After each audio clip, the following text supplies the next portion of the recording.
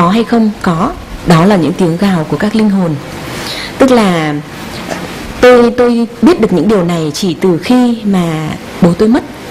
Thì lúc đấy tôi nghĩ rằng trên cái nghĩa địa kia là có bố của mình nằm ở đó. Ví dụ tôi có lên đấy thì có ma quỷ nào thì đã có bố mình che chở rồi. Và tôi chỉ có mong muốn duy nhất là tôi biết, tôi phải được nhìn thấy bố tôi khi mất thì bố tôi như thế nào thì khi ra đấy thì tôi mới chứng kiến rất là nhiều, bởi vì rất là nhiều người mới chết.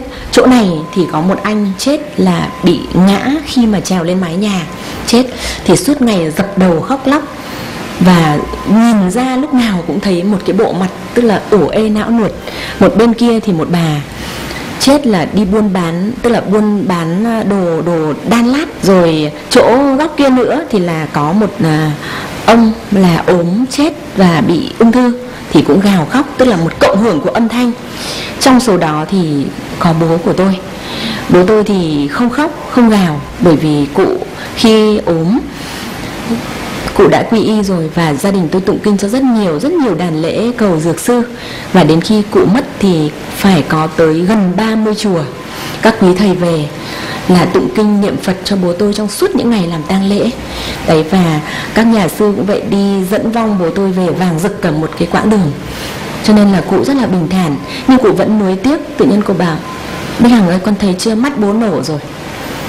Tức là cái linh hồn để thoát khỏi cái mộ đấy rồi, nhưng mà vẫn cứ nhìn, mắt bố nổ rồi xong mình bảo bố ơi chết rồi thì cái thân xác phải phân hủy chứ? Tại sao mà cứ đòi là nó còn nguyên như thế được? Thì cái việc ừ, ờ, uh, mắt nổ thì có ảnh hưởng gì đến cái linh hồn của bố đâu nhưng bố bảo không nhìn cái thể xác của mình thấy xót xa lắm. Thế xong tự nhiên hôm sau lại gọi tôi dậy rất sớm tinh sương dậy bố bảo cái này. Thế hỏi bố lại bảo con cái gì nữa đây? Thế bố bảo chứ con ơi con hôm nay là bụng bố vỡ rồi thì mình bảo thì bố vẫn có một vết nổ ở bụng thì nó vỡ là sao? Không, nó to lên như thế này xong nó nổ rồi. Nó lại vỡ. Xong bảo thì bố có đau không? Bố có làm sao không? Bố không đau. Bố không đau nhưng bố đau ở trong đầu ấy. Và bố đau trong đầu là, tức là nó nổ bụng thì nó đau đầu à hay là sao? Thì bảo không phải.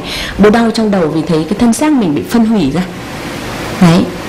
Thì mỗi một ngày, mà thậm chí đến khi tôi đi nước ngoài rồi vẫn còn sang đến tận nơi báo rằng ngay cái đầu của bố nó đứt khỏi cái cổ rồi tức là báo từng ngày, từng giờ như vậy, thì đấy là rõ ràng là bố tôi rất là luyến ái cái cái cái cái cái thân thể của mình.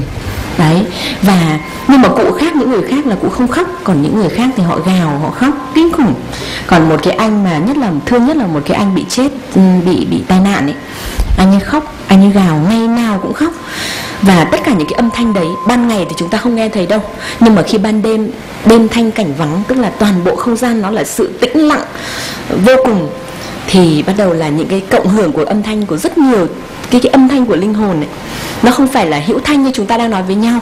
Nhưng khi quá nhiều cái âm thanh đó cộng hưởng lại tức là âm thanh của họ như những cái tần số sóng ấy nhưng khi quá nhiều thứ nó cộng lại nó tạo thành cái một cái cái cái cái, cái sự rung và cái rung động đấy có thể đủ tạo thành một cái âm thanh mà xa xa chúng ta vẫn nghe thấy. Tôi có thắc mắc là tại sao ở những cái vùng đấy rất hay nghe thấy tiếng khóc?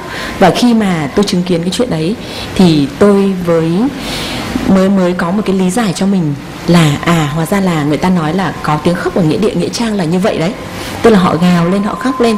Nhưng ngược lại thì ở phía đằng sau của bố tôi có một bà cụ, suốt ngày cười, bà ấy cười, vui vẻ, nhai trầu mồm à, đỏ tươi ra xong cười. Cười thì bà cụ này là vợ của cái ông cụ đồ mà ngày xưa ấy là cái cụ đấy là luôn luôn sát cánh bên tôi để giúp tôi. Tức là khi mọi người bảo tôi chết thì cụ bảo tôi không chết. Thế hỏi sao bà cười nhiều thế? Bà bảo là nhờ ông. Đấy, tức là nhờ ông ông giải thoát cho bà và bà có tư tưởng giải thoát sẵn rồi. Cho nên bà thấy chết là chuyện bình thường lắm nó chả có gì cả, chả việc gì phải gào khóc. Tức là cái gì mình đã làm cho đời, cho con, cho cháu thế là xong rồi. Đấy, xong rồi, bây giờ xuống đây rồi thì chỉ có mỗi một cái việc, đó là tại sao ngu thế lại cứ phải ngồi đấy mà khóc? Đi lên chùa mà nghe kinh niệm phật mà tu tập đi. Cứ ngồi đây mà khóc làm cái gì? Tôi thấy khóc thì mắt nó không nổ à? Khóc thì bụng nó không nổ à? Xong bà lại còn nói với bố tôi là cái nhà bác này, cái gì mà cứ phải ngày nào cũng về quấy giày để báo cho con. Đấy, bác tiếc à? Thế thì bác ờ, lúc bác còn đang ốm đau, bác bảo là như này thả chết còn hơn. Thế bây giờ bác còn tiếc à? Thì bố tôi bảo không, tại vì cháu hằng nói với tôi là bố có thế nào bố phải báo cho con biết để con làm đề tài nghiên cứu khoa học. Đấy.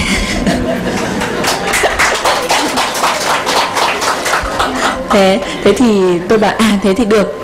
Thế là, thế thì chúng ta cùng hợp tác để làm một cái đề tài đấy, và sau đó thì hai người đó trở thành hai cái người cộng tác và cả làng tôi thì ai cũng bảo là cái nhà ông đấy dở hơi. Tức là bảo nhà tôi là dở hơi. Trong những ngày mới mất người mới chết thì không bao giờ được lên nghĩa địa, nhưng đây ngày nào cũng thấy con cháu lên. Sáng lên, chiều lên, tối lên. Tức là thời kỳ thời gian nào mà tôi cảm giác là bố tôi gọi là tôi lên. Mà tôi bỏ bỏ nhà bỏ cửa bỏ con cái ở nhà. Hồi đó thằng cu, cu thứ hai mới được 2 tuổi tôi cứ kệ nó ở hà nội bà nội. Còn tôi về quê ninh bình. Và ngày nào cũng lên mộ bố. Trong suốt một thời gian đầu cụ mất cho đến khi 49 ngày thì cúng lễ bố về chùa. Đấy khi mà cúng lễ xong rồi là à, ở quê tôi có một cái tục là dương cái cành phan lên á cụ các cụ thương ai thì cành phan cứ xoay. Chú để cho cành phan xoay và đổ vào người đó. Thế hôm đó tôi bảo là để ai cầm cành phan thì mẹ tôi vốn là một người à, rất là thật thà. Thế bảo bà cầm, nhưng mình, tôi bảo chứ nhưng mà bố yêu mẹ lắm. Thế bây giờ mẹ cầm thì bố muốn muốn yêu mẹ, bố đổ vào đâu? Vì mẹ cầm rồi thì làm sao đổ vào mẹ được, đúng không?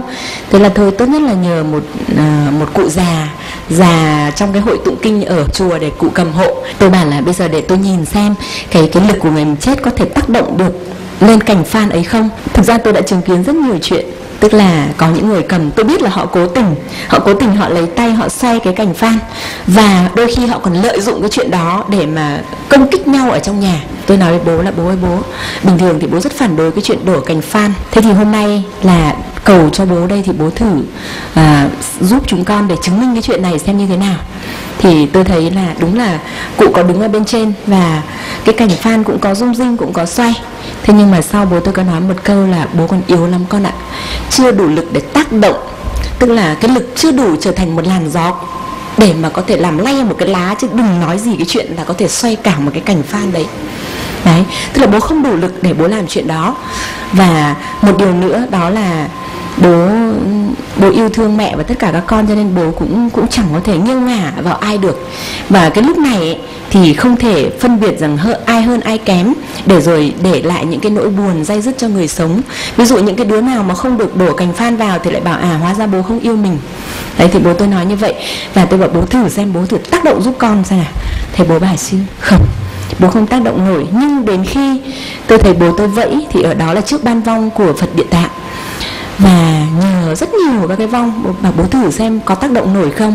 Thế là khi mà bố tôi uh, quay ra chắc là nhờ mấy cái người kia đó thì tự nhiên bắt đầu là tôi thấy rất nhiều các cái vong quẩn xung quanh. Và bắt đầu là cành tre đấy quay. Lúc đấy tôi quay thực sự chứ không phải là không phải là cái người cầm kia giả vờ và tôi bảo thôi được rồi đưa đây cháu cầm. Thì tôi phải cầm trên tay tôi cầm hờ hờ trên tay như thế này. Đầu tiên thì cầm hờ để nó xoay mạnh, sau đó tôi dùng cái lực của mình để giữ thật chặt cái cành đó thì bắt đầu lá trên rung. Cứ thế là rung rung, quay bên nọ bên kia, rung, rinh. Và lúc đấy là sự tác động của rất nhiều linh hồn. Thế quẹt, tôi quay ra tôi giải thích tôi bảo đây là sự đùa giỡn của những linh hồn thôi.